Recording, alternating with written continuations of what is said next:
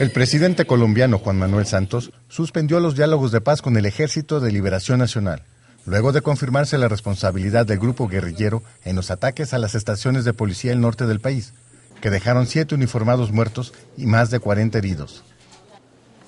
Explicó que debido a la gravedad de los hechos violentos ocurridos durante el fin de semana anterior, se vio obligado a ordenar a la fuerza pública combatir al grupo rebelde como si no existiera ninguna negociación de paz. Se combate el terrorismo con toda contundencia, como si no hubiese negociación de paz, y se negocia como si no hubiese terrorismo. Para continuar la negociación de paz, esta doctrina exige un mínimo de coherencia.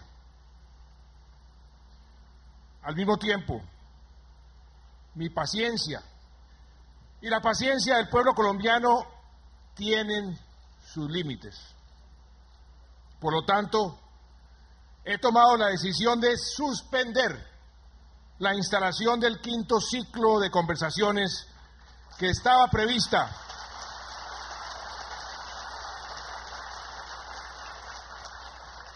el, el, quinto ciclo de conversaciones que estaba prevista para los próximos días hasta que no vea coherencia, coherencia por parte del ELN entre sus palabras y sus acciones.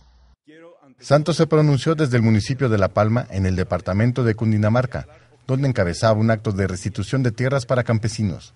El jefe de Estado no descartó que se reanuden los diálogos de paz con la guerrilla, pero insistió en que para que esto suceda se debe observar coherencia por parte del ELN. El mandatario subrayó que la fuerza pública ya tiene la orden de reforzar las operaciones militares en contra del grupo armado, con el que levantó un cese al fuego de tres meses el pasado 9 de enero. Por su parte, el ELN difundió un texto en el que asegura que hasta que no se acuerde un nuevo cese al fuego, seguirán ocurriendo estas acciones militares de lado a lado.